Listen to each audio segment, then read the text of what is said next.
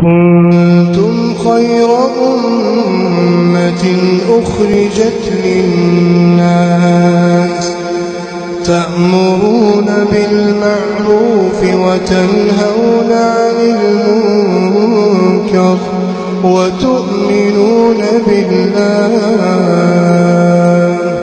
ولو آمن أهل الكتاب لكان خيرا. لكان خيرا لهم.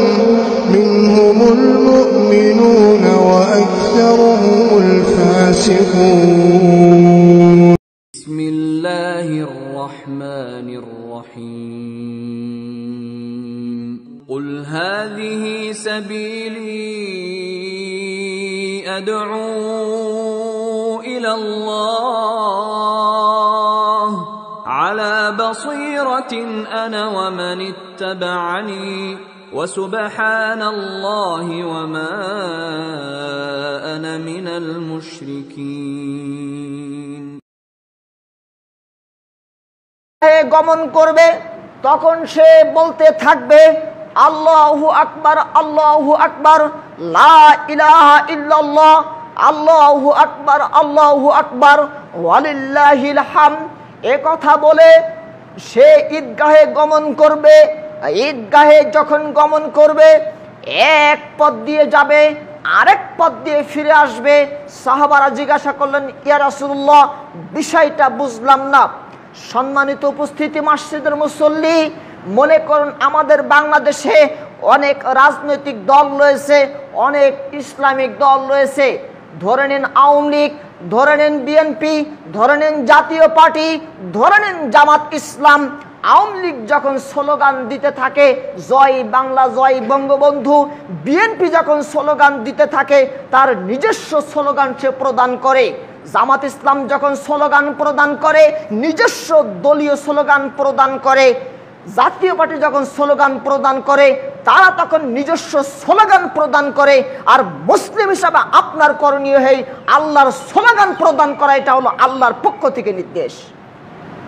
যখন আপনি ঈদগাহে গমন করবেন, আপনার স্লোগান হবে আল্লাহু আকবার আল্লাহু আকবার আল্লাহু আকবার আল্লাহু আকবার হাম।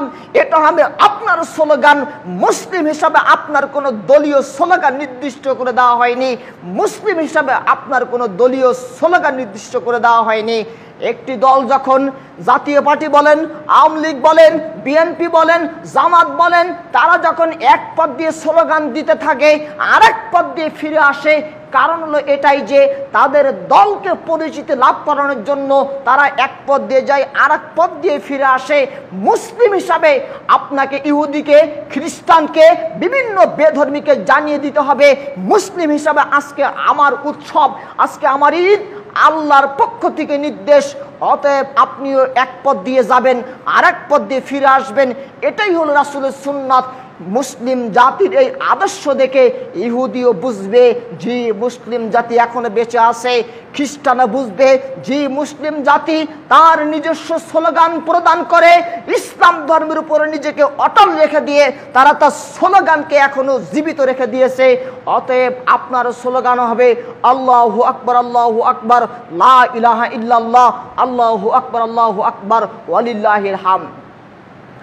সম্মানিত উপস্থিতি সুপ্রিয় দর্শক শ্রোতা মসজিদের মুসল্লি আপনাকে মনে রাখতে হবে যে অবশ্যই আপনাকে স্লোগান প্রদান করতে হবে, তাকবীর পাঠ করতে হবে। এটা হলো রাসুল মোহাম্মদ সাল্লাল্লাহু আলাইহি ওয়াসাল্লামের নির্দেশ। আমাকে জানিয়ে দিতে হবে যে ইসলাম ধর্ম আমাকে নির্দেশ দিয়েছে, ইসলাম ধর্ম আমাকে নির্দেশ দিয়েছে, ইসলাম ধর্মই আমাকে নির্দেশ দিয়েছে। মুসলিম হিসাবে আমার করণীয় এটাই যে আল্লাহর পক্ষ থেকে আসা স্লোগান আমাকেই পাঠ করতে হবে। আপনি যদি কোনো অন্য সময়েও অন্য সময়েও যদি আপনি শুধু ঈদের সময়ে নয়, অন্য সময়ে যদি আপনি কোনো দলীয় স্লোগান পাঠ করেন, অন্য সময়ে যদি আপনি কোনো দলীয় স্লোগান পাঠ করেন, তবুও আপনাকে ধরে নিতে হবে, ইসলামকে অপমান করে আপনি দলীয় স্লোগান পাঠ করেছেন, দলীয় স্লোগান দিয়েছেন, তবে আপনিও হবেন সবচেয়ে বড় মুনাফেক যে মুসলিম হিসাবে আপনি যে স্লোগান পাঠ করেছেন, এটা আপনার জন্য করণীয় নয়। আমি আপনাকে মনে হয় বুঝাতে পেরেছি আলহামদুলিল্লাহ।